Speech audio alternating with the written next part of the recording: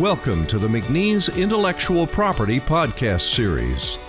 This podcast will address trademarks by Michael Doctrow, attorney at law.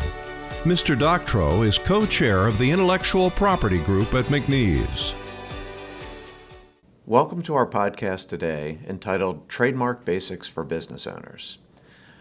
A business's trademarks are valuable business assets. Trademarks represent the goodwill of your business because your trademarks reflect your business as the source of your goods or services to your customers.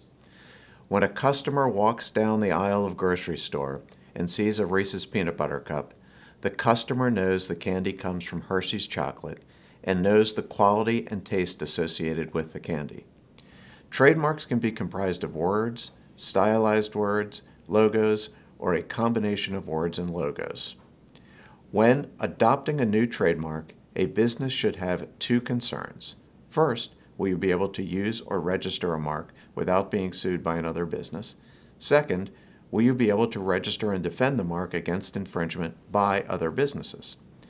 To determine whether a business is going to be sued by another business for using or registering a new mark, and to determine whether a business can secure a registration and defend its new mark, a business must have a trademark attorney search existing registered and unregistered trademarks.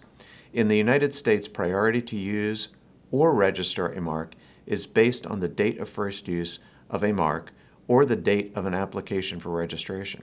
As a result, both registered and unregistered marks must be reviewed. That is, the search must include both registered trademarks and those that are merely used. The test for determining whether a new mark will infringe on a prior mark and the test to determine whether a new mark will be registered over an existing registration is whether the new mark is likely to be confused with the prior mark. In determining whether a new mark is likely to be confused with a prior mark, a court and the Trademark Office use a multi factor test. The factors include the similarity of the marks, the similarity of the goods or services with which the marks are used, the similarity of the channels of trade for those goods or services, the strength or weakness of the mark, and any evidence of actual confusion. A simple screening search conducted by a qualified trademark attorney on a commercial database should cost no more than several hundred dollars. For more important marks, a comprehensive search and legal opinion, which involves securing a comprehensive search of registered and unregistered marks from a commercial search service, should cost less than $2,000. So, you need to clear a mark before you use it to make sure you don't get sued for using it or registering it. But why would you want to register a mark? A federal registration provides you with significant advantages in protecting your trademark. With a federal registration, you have access to federal court and you do not need to establish your trademark rights in the lawsuit.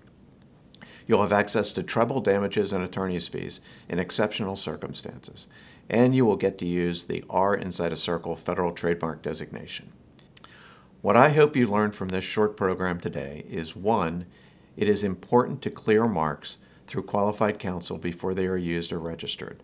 Otherwise, you could be sued for infringement, be forced to change your mark, and pay damages. Two, you should consider registering your mark to be able to protect your mark against infringement by other companies. Three, your mark should be registered in every country in which you do business or hope to do business in the near future. Please feel free to contact me at the number displayed on the screen with any questions you have regarding protection of your trademarks.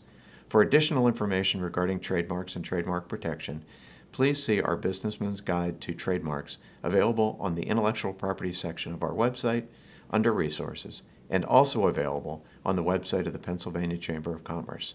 Thank you for joining us today.